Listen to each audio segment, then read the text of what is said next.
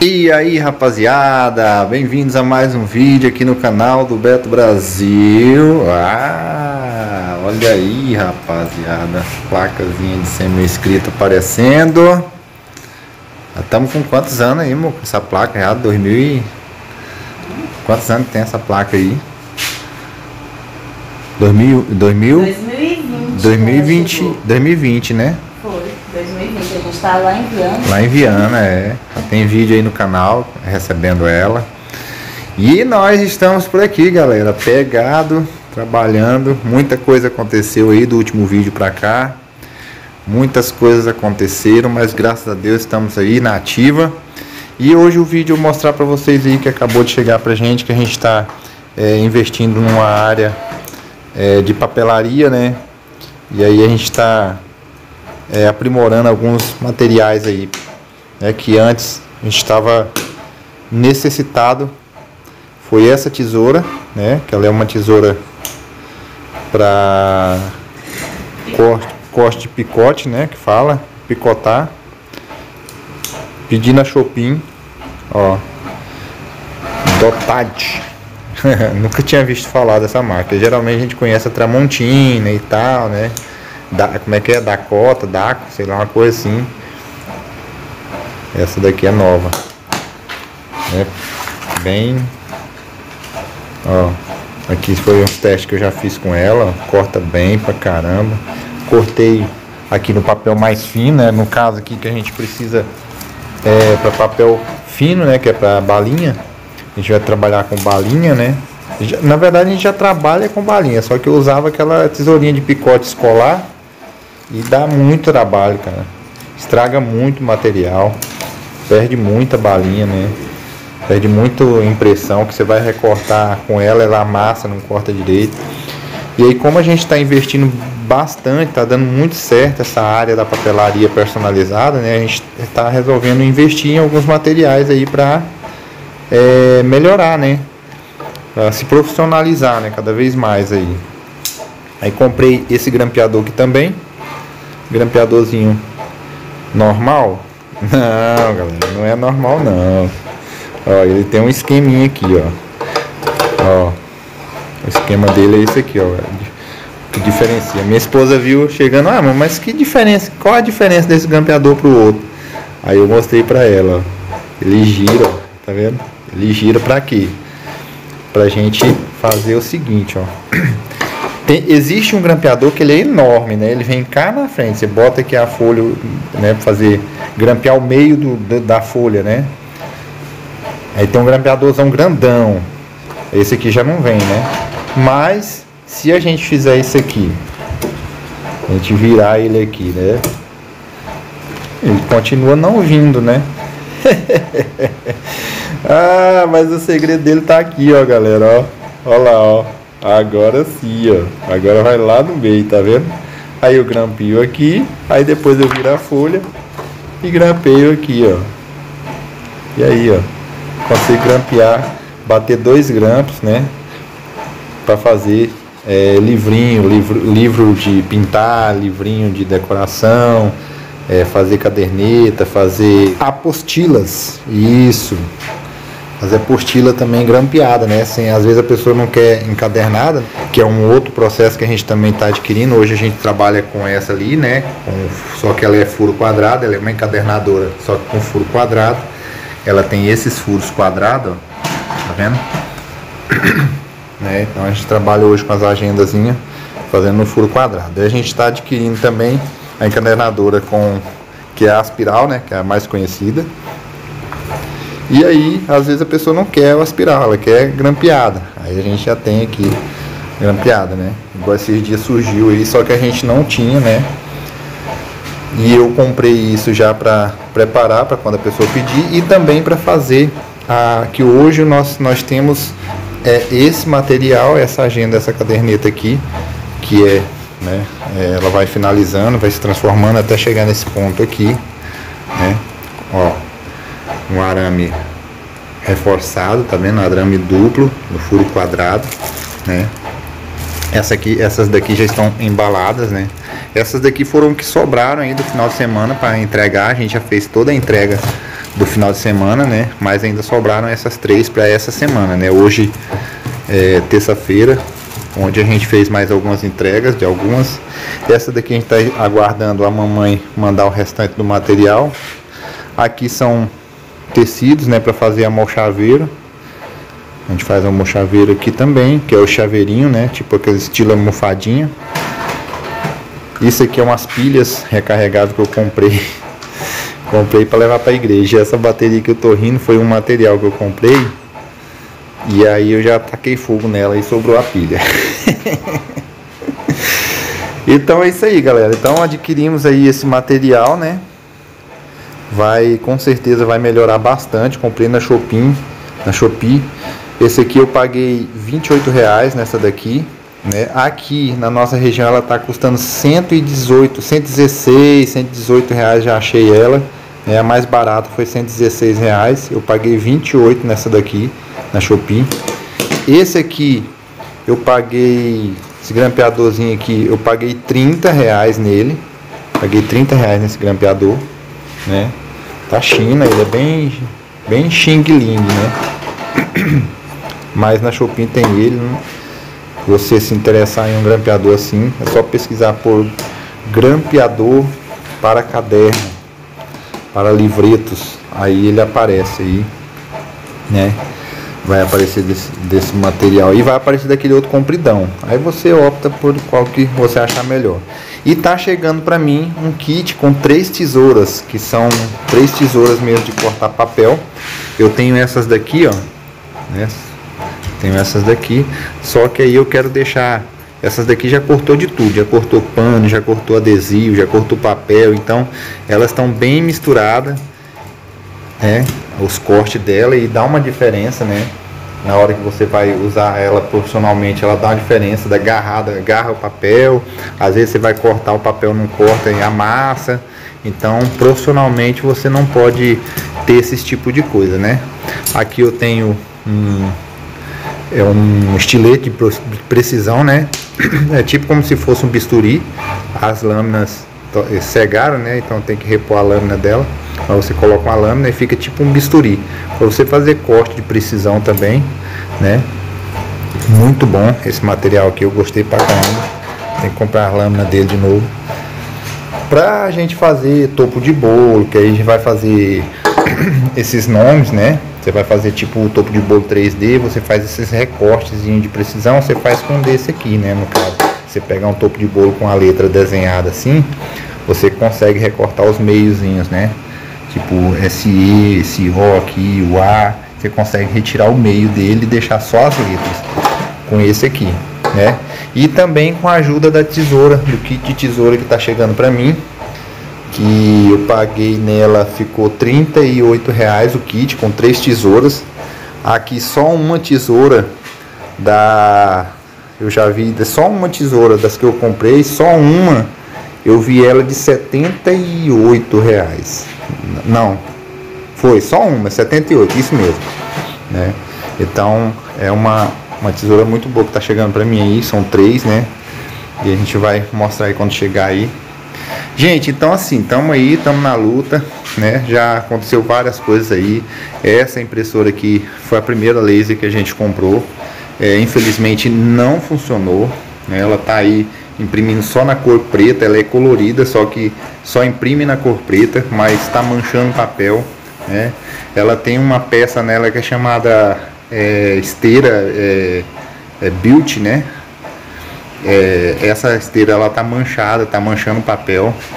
E aí eu comprei essa daqui, também já tá me dando problema, né? Não tá imprimindo, não tá alinhadinha, ela tá desalinhada, né? Não tá imprimindo correto, tipo as cores tá saindo uma atravessada, né? Não tá saindo uma em cima da outra como deveria sair, né? As misturas de cores não tá batendo. E essa daqui é aquela que foi o vídeo que a gente fez, né? Um dos últimos vídeos que a gente fez. Eu fui arrumando. Infelizmente, galera, ela parou, né? Ela não tá funcionando. Ela deu um, um erro, um código de erro aí que eu vou levar ela no colega meu ali para dar um grau, né? Dar uma arrumada nela. Então, essa é a 3210. A impressora aqui é muito boa, né? Mas quando ela dá problema, ela ela sabe dar problema.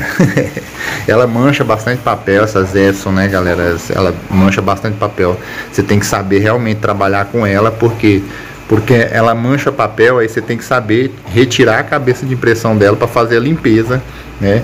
E fazer a remoção dessas cabeças de impressão tem que ter a não é não é tão difícil, mas também tem que ter cuidado para não estragar, né? Então essa daqui foi aquela que eu fiz o vídeo com ela, né? Arrumando ela, recuperando, ela imprimiu, só que aí ela deu um erro de, de, de, de configuração aí, né? Que eu vou ter que levar lá para o rapaz dar uma olhada nela, um colega meu, meu amigo Ítalo. vou levar lá para ver se ele conserta. Aqui é um outro grampeador, galera, ó. Tava esquecendo esse grampeador aqui, ó.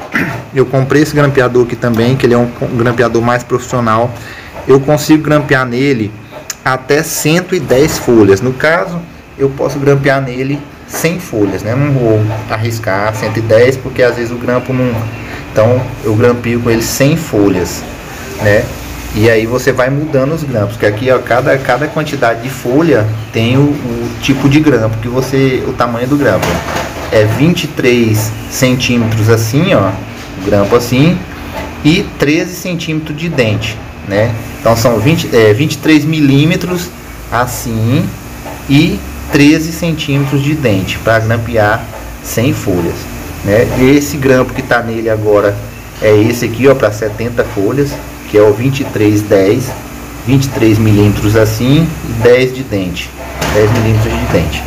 Então aí eu estou usando esse grampo aqui ó, de baixo. Esse aqui foi 24.8, foi o que veio com ele, veio errado, né? Eu paguei paguei 3,99 em mil grampos.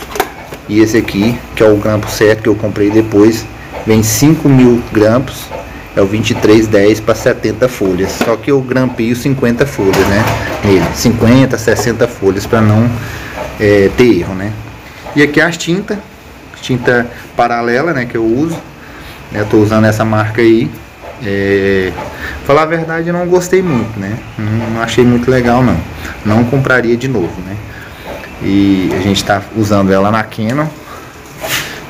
E aqui é a minha impressora de sublimação. Também o preto dela não gostei. Eu coloquei uma outra tinta nela aí. Vou voltar para a Genes, né?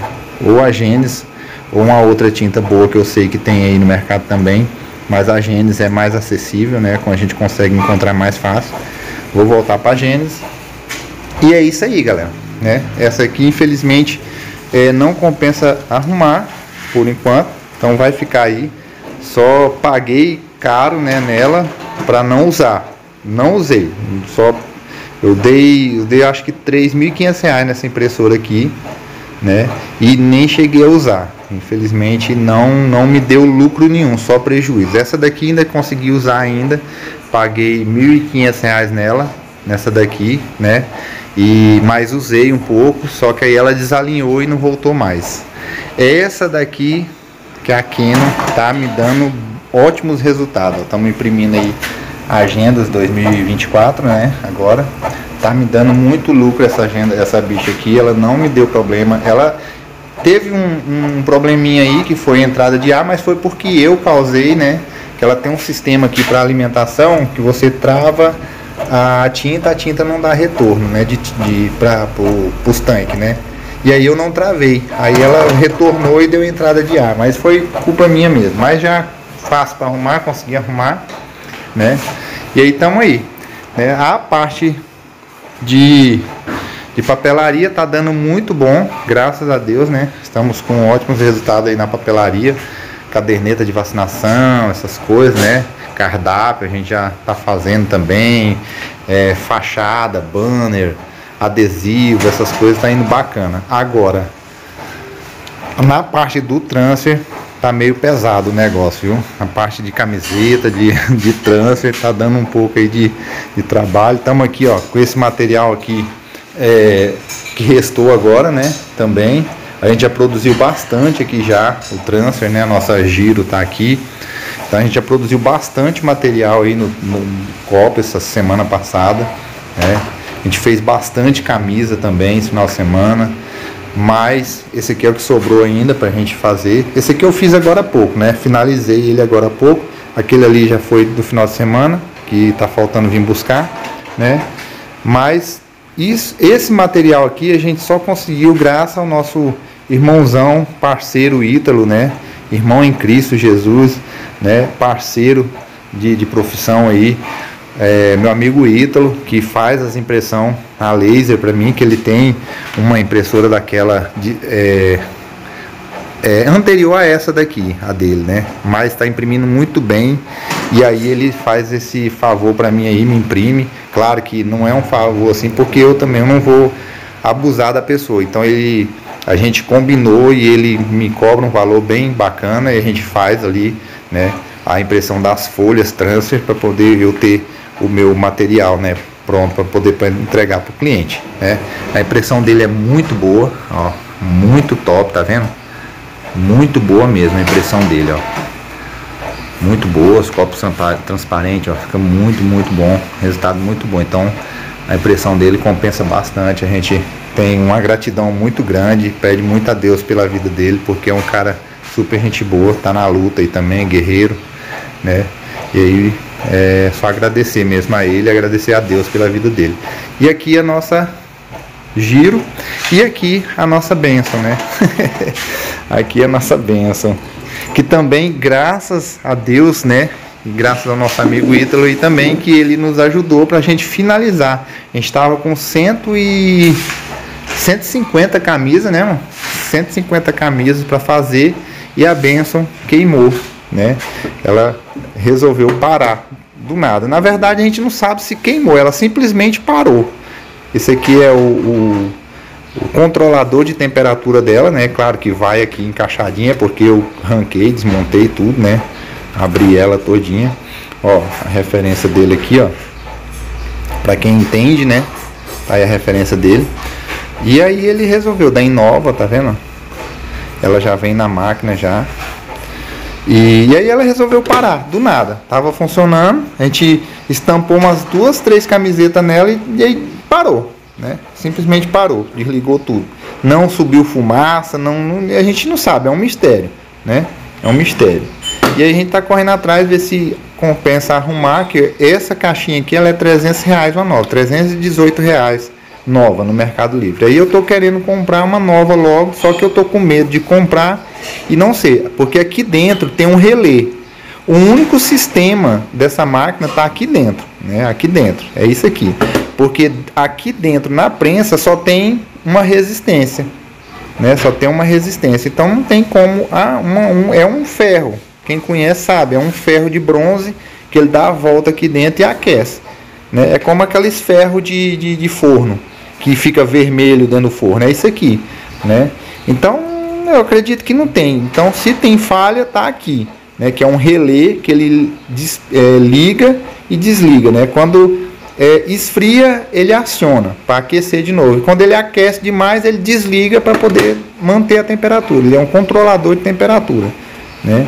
E aqui tem as regulares, tudo certinho. Então, se tem um falha é aqui. Só que eu já levei em dois eletrônicos e os todos os dois eletrônicos que olhou disse que tá bom, que tá funcionando. Só que quando eu chego aqui, eu ligo, né? Olha o jeito que tá aqui, tá parecendo tá parecendo que esse Fusca, velho, né? Galera, os amantes do Fusca. Tá parecendo aqueles Fusca, ó, toda o capô aberto, a parte do motor, sem o motor, só os fios. Aí eu desmontei, já liguei, já fiz tudo quando foi teste. Já, a, aquela bateriazinha que sobrou lá que eu falei, foi disso aqui, ó. Isso aqui é um multímetro que eu comprei, né, para fazer uh, os testes, mas graças a Deus deu tempo, eu consegui usar, né, porque eu queria, usei. Aí depois eu brincando com ele aí, fui metindo a tomada ali com num, não girei a, a, chavinha aqui, né? Ó, torrou que quase derrete o plástico. Aí eu não girei, eu não girei a chavinha aqui, que tem uma, uma essa bem aqui, é, ou é essa aqui ou é essa aqui, ó, que você pode enfiar na tomada que ela vai medir a corrente contínua, a corrente, né, é, coisa. Aí eu tinha deixado ele aqui, ó. Eu tinha deixado ele nessa posição que é para contínua, corrente contínua, né? De baixa amperagem. Aí eu estava aqui, eu peguei enfiei na tomada e só foi o pipoco só. Só escutei o papo, como diz o maranhense, né? E aí sobrou isso aqui. sobrou isso aqui. Olha lá. Né? Então foi Paguei, paguei 38 reais, usei por duas horas. aqui, onde é que eu coloquei aqui, ó. Eu meti bem aqui, ó. Tá vendo? Onde que eu coloquei. Mas aí não atingiu nada, né? Não foi isso que causou, porque isso aqui já foi ontem, ontem quando eu comprei que eu tava testando. E o fusível também tá normalzinho, não sei, é um mistério, tá um mistério. Esse aqui eu tinha feito, eu tinha prensado nela já, né? Esse, esse aqui. Mas as camisas eu tive que pedir mais uma vez ao meu amigo Ítalo, né? Meu parceiro, meu irmão camarada aí, Ítalo, né? Que me deu esse apoio aí. E nós estamos com esses probleminhas aí, mas tá indo bem, graças a Deus, né? A gente está tentando manter a calma aqui, tentando raciocinar aí, né? Eu não sou muito bom de raciocínio, nessas horas eu fico esquentado, eu fico apavorado mas graças a Deus estamos conseguindo controlar aí, estamos conseguindo se sair bem aí nas paradas, né? E aí pensar no que vai fazer. Né? Nossa prensinha de caneca tá boa, tá funcionando, belezinha, né? Nunca me deu problema. Já soltou aqui a mantinha aqui de dentro, ó. Já soltou, mas eu já colei, tá? Tá normal, não tá estragando caneca. E é isso aí, galera. Estamos nessa luta aí, né? Sumido, mas não desaparecido, estamos por aqui. Quero mandar um abraço aí pros meus amigos. É, eu, tenho, eu acho que acredito que tem muito amigo da gente aí que tá ligando pra gente no número antigo e não tá conseguindo falar com a gente. Né? A gente tá com um número novo aí. Depois só chamar aí que a gente tenta passar o número aí, né? E aí tamo aí, ó. Um estoquezinho aqui embaixo, estoque de camisa, estoque de caneca, algumas coisinhas, arame. E, e tamo aí na luta aí. É nóis. Né, galera? Tamo aqui na atividade. Ah. Tá nessa vibe de quebrar as coisas, mano. Aqui, galera, foi o, o vídeo que eu falo, Júlia, não senta aí não, minha filha, né? Não senta aí não, Júlia, vai quebrar o vidro, vai quebrar o vidro. Aí ontem eu, eu tava meio agoniado com esse negócio que não dava solução de jeito nenhum. Aí resolvi sentar aqui para refletir, né? A minha mulher tava aqui, minha esposa tava aqui dentro, né? Tava ali trabalhando, fazendo umas artes agora que ela é, é, agora ela virou arteira agora, né? Virou arteira agora, tá fazendo as artes aqui, eu trocando ideia, tentando refletir mais ela aqui, peguei e sentei aqui, né? Um peso de meio quilo, sentei aqui, aí só escutei o estralo, black. Falei, tá bom demais. Deus seja louvado, né? E aí tamo aí, galera. Graças a Deus, mas tá tudo certo, saúde, tá bem, graças a Deus, estamos comendo bem, tá tá sobrevivendo, né? Saúde da filha, saúde da família tá bem, estamos indo para a igreja, tá tudo certo. E estamos buscando a Deus aí sempre aí, né? Que ele é o nosso refúgio, a nossa fortaleza, né? E só ele pode resolver todos esses problemas pra gente. Tá bom, galera? Estamos com esse material aqui, né? Fazer os amochaveiro e a gente vai fazer aí. Estamos imprimindo a agenda, muita coisa para fazer aí. E estamos nessa luta aí, tá bom, galera? Estamos por aqui, não sumi, tá? Não parei. Estamos aqui na ativa, só resolvendo esse probleminha aí, mas o mais tá tudo certo, estamos trabalhando. Tá bom? Normal de empresa, normal de quem tá na ativa. E é isso aí. Dá um tchau pra galera aí, amor. Tchau. Tchau, galera. galera. Valeu, gente. Abraço. Pra pegar, Pra pegar o material? Aí, vai pegar o material. Estamos também fazendo aqui, galera, é, um, é uma arte para uma fachada na pizzaria do colega nosso. Ele daqui a pouco ele vem aí pra gente finalizar a arte. É, E cliente. nosso, né? Ami- amigo não, né? A gente Eu conhecia ele antes. Não, é porque ele é um agente de saúde do bairro aqui, do, do setor, né? É? É. Aí eu falo amigo assim, mas ele não era, né? A gente não conversava Não, não. Eu estudei junto com. Eu estudei no mesmo colégio. Então eu via ele no colégio e via ele aqui, que ele é agente de saúde aqui, né? No bairro. É por isso que eu falo amigo assim, mas a gente não conversava não. Agora a gente tá conversando mais do que antes. mas é, a gente tá conversando mais como negócio, né? Como tratando de negócio, né? Que ele tá abrindo uma pizzaria, já fiz os cardápios para ele, fiz 12 cardápios para ele, 12, 12 cardápios, assim, 12 cardápios é um livrinho de três folhas, né? Então, 12 vezes 3. e a fachada que é a placa da a placa da da, da, da pizzaria.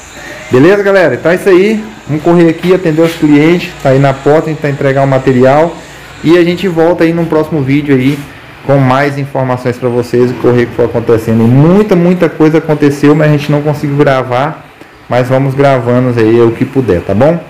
Valeu, rapaziada! Aquele abraço. Falando meio rápido aqui para ver se o vídeo não fica curto, mas já estamos com 25 minutos de vídeo. E o Bob tá aí. Tchau!